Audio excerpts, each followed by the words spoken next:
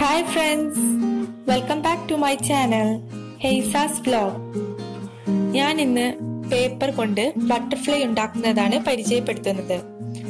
നിങ്ങൾ ആദ്യമായിട്ടാണ് എന്റെ ചാനൽ കാണുന്നതെങ്കിൽ സബ്സ്ക്രൈബ് ചെയ്ത് ബെല്ലൈക്കൺ പ്രസ് ചെയ്യണം. ഒറിഗാമി പേപ്പർ യൂസ് ചെയ്തിട്ട് ബട്ടർഫ്ലൈ ഉണ്ടാക്കുന്നത് എങ്ങനെയെന്ന് ആണ് ഞാൻ കാണിക്കുന്നത്. ഇതുപോലെ ഒരു പേപ്പർ ഒരു എ ഫോർ ഷീറ്റ് പേപ്പർ തന്നെ യൂസ് ചെയ്തിട്ട് അത്യാവശ്യം ഒരു വലിപ്പമുള്ള നാല് ബട്ടർഫ്ലൈ വരെ നമുക്ക് ഉണ്ടാക്കിയെടുക്കാം. പേപ്പർ ഞാൻ കാണിച്ചതുപോലെ നടുവിൽ ഇങ്ങനെ മടക്കിയെടുക്കുക. അത് വീണ്ടും ഫോൾഡ് ചെയ്ത് മടക്കിയിട്ട് അതിങ്ങനെ കട്ട് ചെയ്തെടുക്കണം. നാലെണ്ണായി കട്ട് ചെയ്തെടുക്കാം. ഈ നാല് പേപ്പർ യൂസ് ചെയ്തിട്ട് നാല് ബട്ടർഫ്ലൈ ഉണ്ടാക്കാം. ഇതുപോലെ മുറിച്ച് ഒരു പേപ്പർ എടുത്തിട്ട് വീണ്ടും ഇങ്ങനെ മടക്കിയെടുക്കുക. അതിന്റെ മിഡ് ലൈൻ കിട്ടുന്നത് പോലെ. അത് വീണ്ടും നടുവിൽ ഇതുപോലെ മടക്കിയെടുക്കണം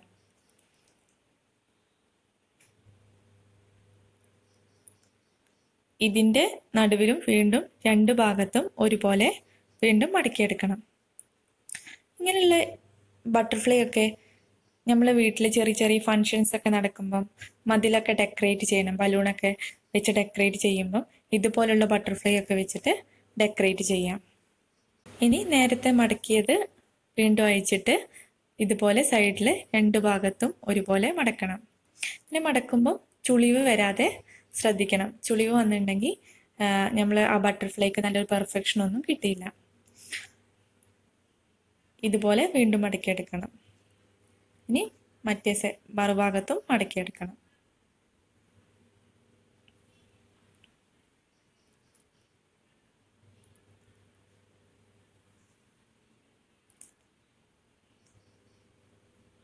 ഇനി ഇത് വീണ്ടും ഇതുപോലെ ചെറുതായി ഇങ്ങനെ മടക്കുമ്പം എല്ലാ ഭാഗത്തും ഒരുപോലെ ലെവലാക്കിയിട്ട് വേണം ചെയ്യാൻ.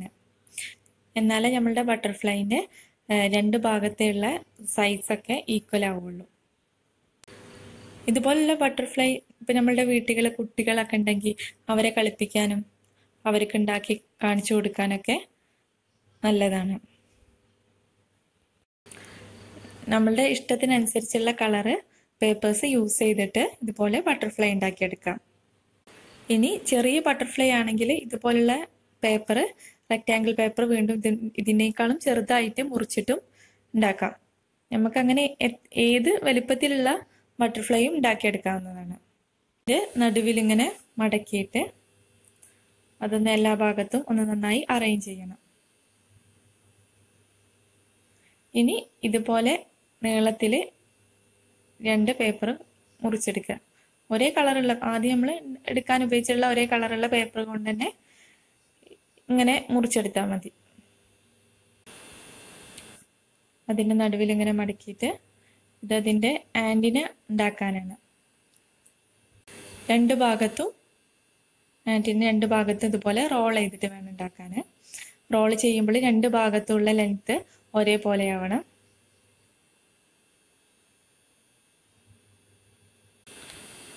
പതുക്കെ ഇങ്ങനെ രണ്ട് ഭാഗത്ത് ഒരുപോലെ ആക്കിയിട്ട് റോൾ ചെയ്തെടുക്കുക.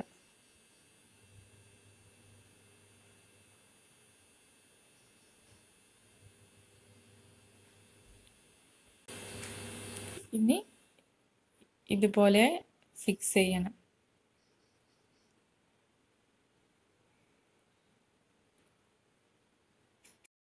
ഇനി ഈ ആന്റിന ഫിക്സ് ചെയ്ത് നിൽക്കാൻ വേണ്ടി വേറെ ഒരു പേപ്പർ യൂസ് ചെയ്തിട്ട് ഒട്ടിച്ചെടുക്കണം.